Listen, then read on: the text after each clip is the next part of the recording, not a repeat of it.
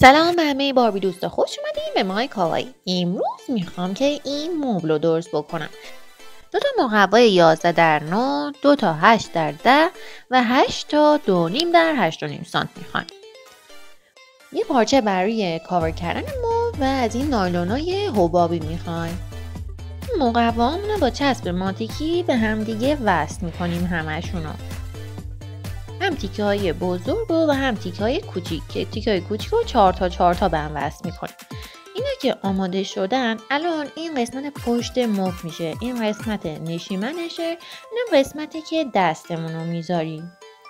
خب اینو به اندازه خود مقوا می‌برم. چند تالایی ازش می‌برم و میچسبونم روی مقوا. این تیکه رو حالا باید با پارچه بیایم کاور بکنیم. اینا پشتش میشه. این تیکه کوچیک هم باهاش کاور می‌کنم. خب این آماده شدن. حالا باید بچسبونیم به هم دیگه.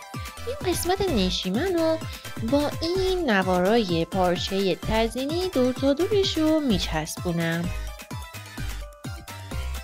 حالا که این آماده شده این قسمت پشتش از این چسبای حرارتی می‌زنم بعد وصلش می‌کنم به قسمت پشتی مبل.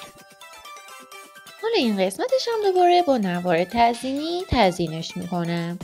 خب این آماده شده حالا باید براش پایه هم بذاریم از این لاکای خوش شده استفاده می‌کنم و این قسمت داخلیش رو در میارم.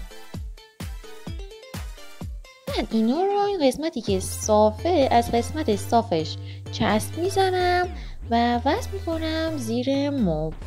اینم از مبل مینیاتورمون که آماده شده. اینم گوسنی کیوت که می‌ذارم روش حالا آماده است که می‌ذارم توی خونه.